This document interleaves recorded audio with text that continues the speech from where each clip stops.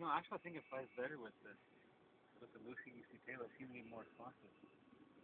Florida. What happened? Oh, I thought it. No, I just cut the throttle.